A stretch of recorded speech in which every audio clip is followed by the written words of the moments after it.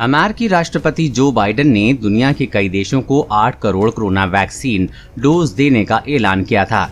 इस घोषणा के बाद अमेरिकी दूतावास के प्रवक्ता ने कहा कि जो भी मुल्क वैक्सीन की डोज लेना चाहता था, उसे अपने वैक्सीनेशन प्रोग्राम, नियम कानूनों की जानकारी मुहैया करानी होगी। साथ ही कानूनी प्रक्रिया का पालन करना होगा, तब जाकर अमेरिका उस देश को वैक्सीन सप्लाई करेगा। अमेरिकी दूतावास के प्रवक्ता ने कहा कि जहाँ तक भारत को वैक्सीन सप्लाई का सवाल है, ये देरी अमेरिका की ओर से नहीं हो रही है। उन्होंने कहा कि भारत सरकार वैक्सीन लेने से पहले सभी कानूनी प्रक्रियाओं का पालन सुनिश्चित करना चाहती है।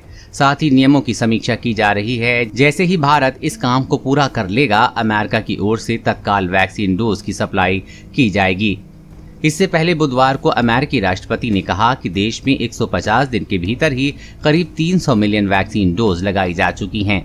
उन्होंने कहा कि एक सौ बयासी मिलियन से ज़्यादा अमेरिकी नागरिकों को कम से कम एक डोज दिया जा चुका है। इनमें से 90 फ़ीसदी वरिष्ठ नागरिक और 70 फ़ीसदी वयस्क शामिल हैं, जिनकी उम्र 27 साल से ऊपर है। कोरोना वायरस और कोरोना वैक्सीन से जुड़ी हर अपडेट पाने के लिए चैनल को सब्सक्राइब करें।